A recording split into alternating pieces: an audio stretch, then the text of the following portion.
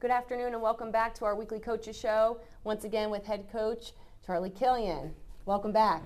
Well, it's good to be back. This is an exciting uh, episode from where we were last week, and we were hoping to be here, and we are. Absolutely. So, one game left, the championship game tomorrow. Yep. 4 o'clock at Bryce Jordan Center. Everybody's super excited. Um, we had a lot of really good things happen in this last week, like you said. Uh, one of those things was that the PSUAC announced their all conference selections. So let's start off and talk a little bit about your players that received some accolades. Uh, start with Shirley Valentine. Um, just an awesome player, awesome kid. She got the Sportsmanship Award. Yep. Um, and she does everything that we ask of her. Uh, she's a motivator. She's self-motivated. She'll motivate others. Mm-hmm. Um, the ability that she shows on the court, she gives 100% at all times. She listens to what we're asking her to do. Um, Shirley's just an amazing player, and um, we really appreciate her. And there's times where she's not afraid to, you know, let me know what she thinks, and that's a lot what I appreciate about, appreciate about her. Yeah, and I'll say when I sit at the scores table, you know, I'm supposed to be unbiased, right? Well, every time I hear Shirley go, D up. Yep. I just want to chant with her. Yeah, exactly. So, and it's always her that starts it. Right. So, uh, obviously, well deserved for her. Um, really happy that she was honored, you know, in that capacity. Um, the next award, Rookie of the Year, a very talented player, mm. obviously recognized across the conference as the top um, incoming player. Talk a little bit about Tajay Stevenson, her road to get here, and just the impact she's had. Well, uh, you know, Tajay comes from uh, uh, uh, out of high school. She's 23, I think mm-hmm. she just turned 23. And um, so the road that she took was a lot different than anybody else. Mm-hmm. Uh, had a knee issue, mm-hmm. Uh, was at Temple, mm-hmm. and th- things you know didn't work out there. She left school, came here to Pottsville um, with live with her grandmother. Decided to come to school. She wanted to get her degree, and we found out about it. Yeah. and we approached her and talked to her about it, and we're uh, ecstatic that she decided to play. And and she's reaping the benefits of, of her hard work and the talent that she has. Um, she's, you know, definitely has um, the the effort and you know her abilities are just amazing, um, and outspoken, mm-hmm. and you can really appreciate that. Um, there's nothing better than you know where you kind of stand with people, and it's I struggle with somebody that's not as you know you don't know where you stand, mm-hmm. and that's another thing that I also appreciate um, about mm-hmm. Tajay. Yeah. Um, but she, it's when she puts her mind to something, it's yeah. amazing what she does out there in the court. Yeah, it's really neat to see her blossom just in one year. Yep. We got hopefully three more years with her, and like you said, being vocal. Hopefully, seeing her develop into a true leader on the court as these seasons progress in her career. Um, very happy that her path crossed ours, and we're on the same journey together. Uh, she's done great for our program. So our next award, just I, am kind of speechless because I'm just so happy yeah. for her for this award.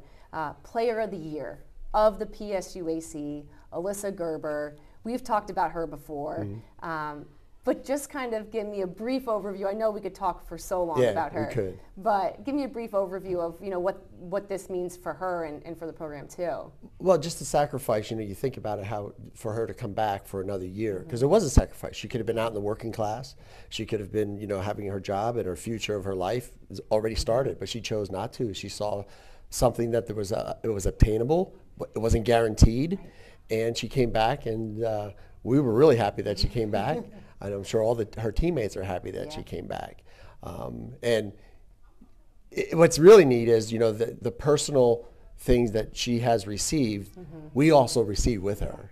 Yeah, and and she's going for speaking on that, she's going for her thousand rebounds tomorrow. She only needs eight. Um, so That's amazing. Yes. You yes. know, think about a thousand points and a thousand rebounds. I know. It, it's far and few between that ever even get close to that, right. let alone actually get it. So um, again, just reaping the benefits, which is awesome for her. Uh, our last award uh, goes to someone yeah. who, who it's greatly deserved. It's been a long time coming. I know, uh, Coach of the Year, congratulations.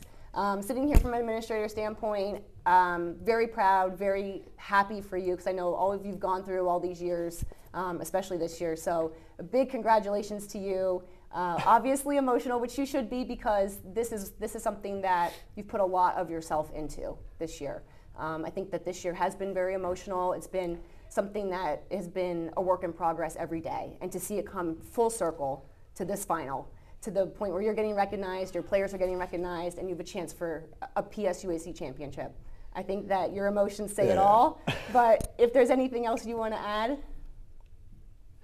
Yeah, I mean, you just think about all the people that were that here. yeah, You think about Kelly yourself. Mm-hmm. I, I think about you know I co- coach Klein, my high school coach. I think about Rich Mock, who coached me when I was in the military. I think of Burt Word at Blue Mountain, who I, I helped um, in the program with. I think of Ruth Weidman. Yeah. Um, you know, just the people that affected you in a positive way, Mm-hmm. and um, those are the. That's what you reflect on. yeah, yeah. If I get this out, I can do this. Julius Erving said that um, I was listening to an interview of his, and he talked about how you don't look at your rewards for yourself, but you think about down the road how you know your, your family and friends kind of look at them. And I thought that was neat because I thought about Lindsay's and, and Patrick's awards, my son, and that, right, I reflected on those. So it's it's a personal thing that um, you know you, you, you reflect that more down the roadway. Absolutely, and I think it'll be something that for sure your kids and your grandkids will certainly look back on in years to come. Yeah, I'm sure all the girls would be uh, surprised that I got a little emotional here. I'm so. sure. I'm sure. We'll show we'll show your soft side every once in a while, right? Yeah. Um, but congratulations, truly, truly well deserved, um, and and just to be respected amongst your your other colleagues and coaches across the conference, I think says a lot about you know you as a coach and as a person. So, um, moving on to our last question, Penn State Beaver. Uh. so we beat them the first time, close game, Overtime. overtime. Yes. So. What's changed since then, and how are you approaching the game? Well, I think the only thing that's changed is the month. Uh, we were sitting here talking about how long the season Mm-hmm, was. Um, Beavers well coached. Um, there's this team that got better and better as the year went on. We got better and better, and, and now we're both going to collide up there. Mm-hmm. Yeah. Uh, there's not nothing to be hidden. Um, um, we're we're going to you know put two teams on the court and go head to head, and and you know you looked at their the Lehigh Valley game and Yeah. up and down the court, and that's how our game's going to be the same way up and down the court.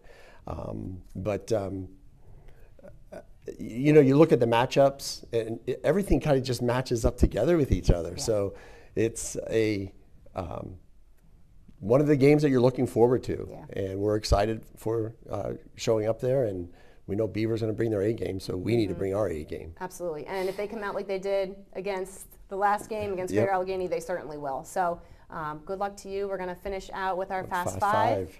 And um, one thing to note too is that after um, the game today, we did receive a bid for USCAA Yep, championships. that was Um, that was fun too the other night. that was fun. Yeah. So um, for everybody watching, we will be back next week before you head to Virginia for USCAA championships to recap that. So we, there will be, still be more to come. Basketball is not over after Saturday, um, but let's Just clear with the agents. That's all. Yeah. know, right? Right.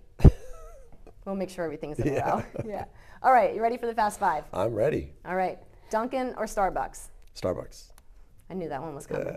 McDonald's or Burger King? Burger King, Eagles or Steelers? Eagles, Okay. This is a good one. March Madness or NBA Finals? March Madness. Okay. And then the last one is for Jackson. He insisted my son asked that. Is it Spider Man or Iron Man? Ah, I'd probably Spider Man. Spider-Man? Yeah, I'll go the Spider Man. I'm an Iron Man, but I, he might agree with you. We'll have to ask him. Well, thank you for your time. Good luck tomorrow. And um, we look forward to seeing you back here next week. Thank you. We're excited.